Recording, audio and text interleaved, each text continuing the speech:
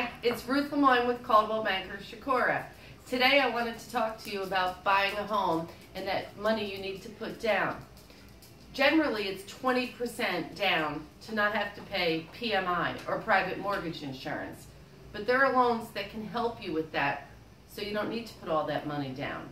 There could be a VA loan if you're a veteran, a USDA loan if you're buying in the country like Conway, Aynor, Loris, or an FHA loan where you could put 3.5% down. I can help you with this. I'm experienced. I do these types of loans all the time. So if you're looking to buy a home, give me a call. It's Ruth LeMoine with Coldwell Banker Chicora, 843 424 5669. Have a good day.